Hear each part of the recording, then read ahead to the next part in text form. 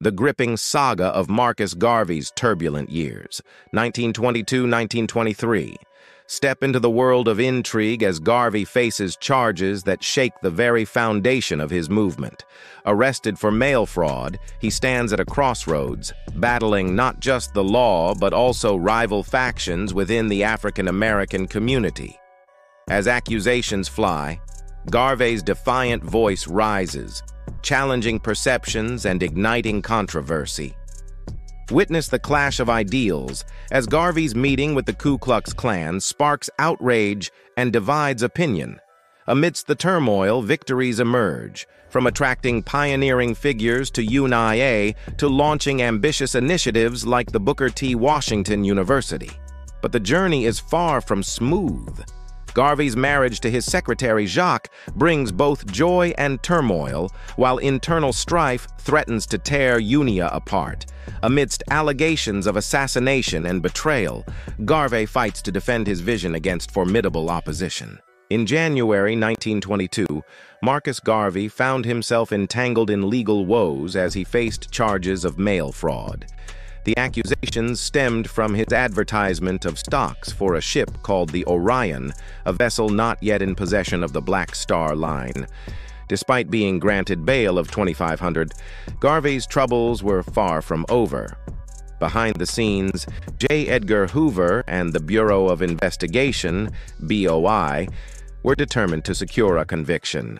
Fueling their efforts were grievances from a handful of Black Star Line shareholders urging authorities to pursue the case vigorously. Garvey, however, refused to go down without a fight. Rather than directing blame solely at the state, he pointed fingers at rival African-American factions, including disgruntled former members of the Universal Negro Improvement Association, UNIA. In a fiery address at Liberty Hall, Garvey hinted at a broader conspiracy, suggesting that even the NAACP might be implicated in his legal troubles. However, the mainstream media wasted no time in painting Garvey as a deceitful figure, portraying him as a swindler who had preyed upon African-American investors. As the accusations flew, Garvey found himself thrust into the spotlight of public scrutiny, facing a battle not just in the courtroom but also in the court of public opinion. In June 1922, Garvey embarked on a controversial meeting with Edward Young Clarke, serving as the Imperial Wizard pro tempore of the Ku Klux Klan, KKK, at the Klan's headquarters in Atlanta. Leading up to this encounter, Garvey delivered impassioned speeches that stirred controversy, even expressing gratitude to whites for upholding Jim Crow laws. I hold the belief that, in the context of the black struggle against social, economic, and political oppression, organizations like the Klan, Anglo-Saxon clubs, and white American societies exhibit a more transparent disposition compared to other ostensibly supportive white groups. My stance stems from a preference for honesty and equitable treatment of the Klan, but I maintain that every white individual, in the context of competition with blacks for social, economic, and political standing, adopts a similar stance. Let's confront these uncomfortable truths head-on and strive for genuine progress. The news of Garvey's meeting with the KKK spread like wildfire, dominating the front pages of numerous African-American newspapers and igniting widespread outrage. The revelation struck a chord within the African-American community, prompting shock and indignation. Historians noted this event as a pivotal turning point in Garvey's public perception, with Grant highlighting its profound impact on his popularity. In response to the revelation, a coalition of prominent black figures, including Chandler Owen, A. Philip Randolph, William Pickens, and Robert Bagnall, spearheaded the Garvey Must Go campaign. Leveraging nativist sentiments, these critics emphasized Garvey's Jamaican heritage and, at times, advocated for his deportation. Tensions escalated as Garvey's detractors reported instances of intimidation and physical violence at the hands of Garvey supporters. William Pickens and others claimed to have faced threats and assaults, further exacerbating the rift within the African-American community. A particularly chilling incident occurred when A. Philip Randolph received a grotesque package containing a severed hand, accompanied by a menacing letter from the KKK. The letter warned Randolph to cease his criticism of Garvey and align himself with the UNIA, underscoring the volatile nature of the situation. As the Garvey Must Go campaign gained momentum and divisions deepened, the fallout from Garvey's controversial alliance reverberated throughout African American society, leaving a lasting impact on the trajectory of his movement. Today, I had the opportunity to speak with Edward Young Clarke, serving as the acting Imperial Wizard of the Knights of the Ku Klux Klan. During our two-hour conversation, Clarke provided insight into the Klan's goals and principles. He emphatically denied harboring any hostility towards the Negro Improvement Association, expressing a desire for mutual understanding. Clarke's perspective on America as a white-dominated nation was unequivocal. Additionally, he advocated for the notion of African Americans having their own territory in Africa. This assertion underscored the Klan's belief in racial segregation and separatism. In a surprising turn of events, Clarke revealed that he had been extended an invitation to address the upcoming convention of the Universal Negro Improvement Association, UNIA. This unexpected development aimed to reassure members of the UNIA about the Klan's stance on racial issues. The prospect of a Klan representative speaking at a UNIA event raised eyebrows and stirred controversy highlighting the complexities of race relations in America during this tumultuous period.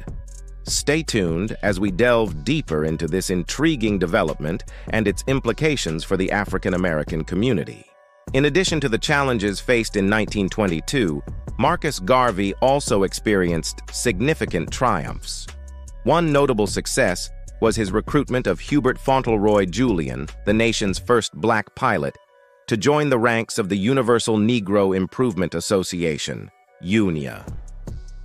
Julian's aerial stunts served as a captivating spectacle, elevating the visibility of the organization and its mission. Furthermore, the UNIA achieved a milestone with the establishment of Booker T. Washington University, situated within the confines of the UNIA-operated Phillis Wheatley Hotel on West 136th Street. This educational initiative aimed to empower African Americans through knowledge and academic pursuits, embodying Garvey's vision of self-determination and upliftment. Another significant achievement was Garvey's successful endeavor to secure a UNIA delegation to the League of Nations. This delegation, comprising five distinguished members, was tasked with representing the interests and aspirations of the black community on the global stage.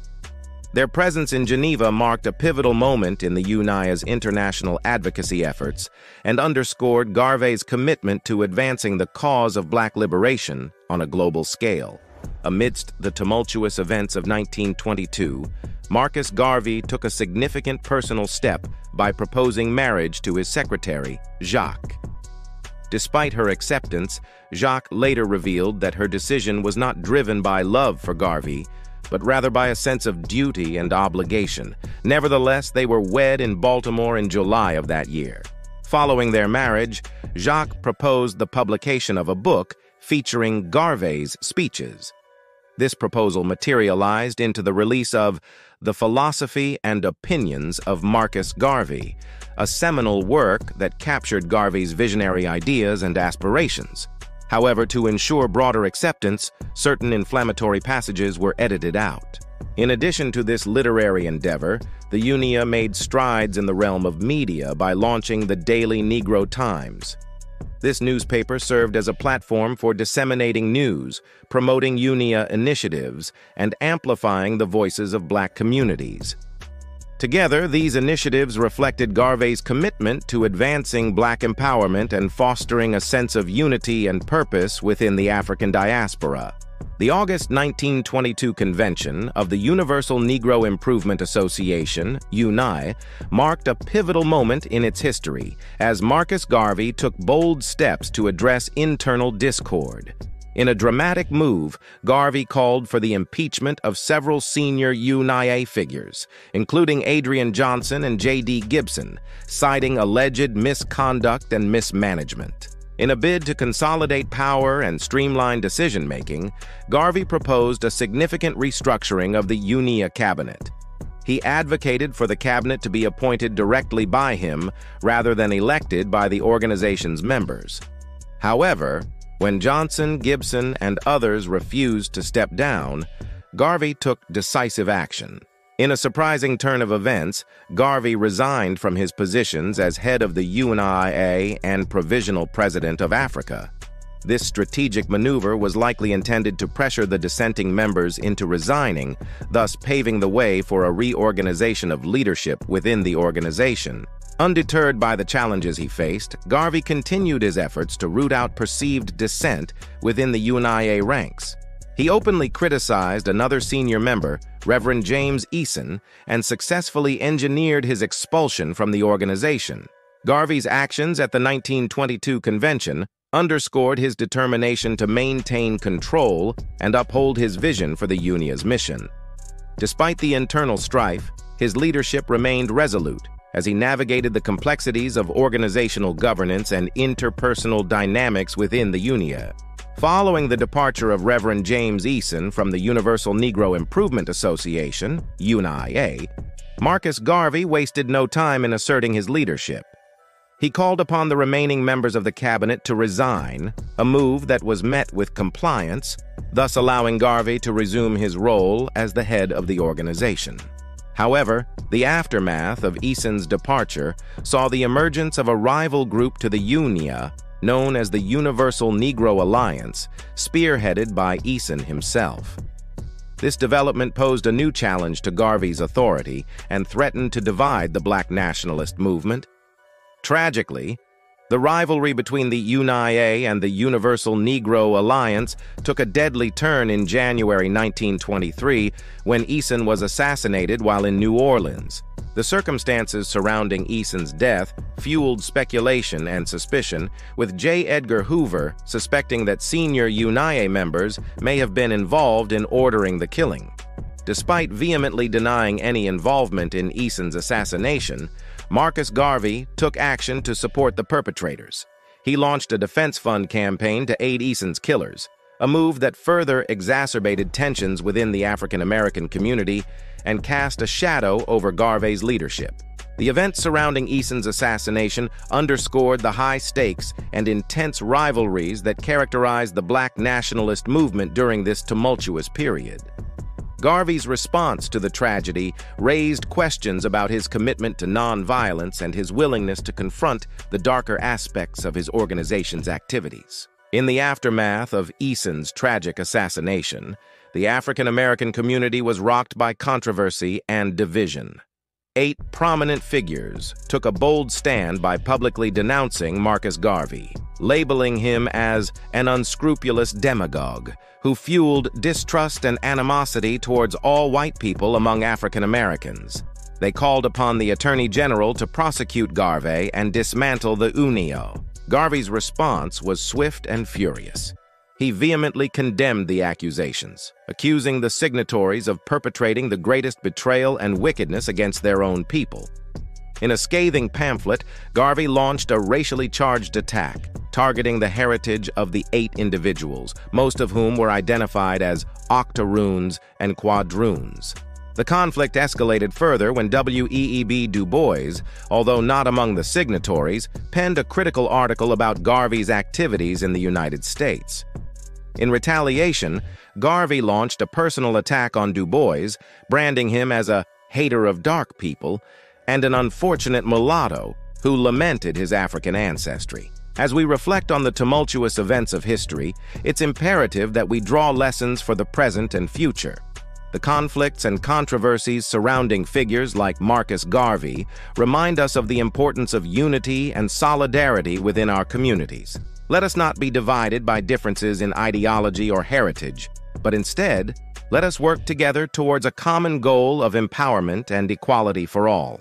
This bitter feud laid bare the deep divisions within the African American community and underscored the complexities of race relations during this turbulent era. The clash between Garvey and his detractors, fueled by accusations of betrayal and racial animosity, left a lasting impact on the trajectory of the black nationalist movement and the struggle for racial equality. Whether it's through advocacy, education, or community building, each of us has a role to play in shaping a more just and inclusive society. So, I urge you to take action today. Stand up against injustice, bridge divides, and amplify voices that have been marginalized.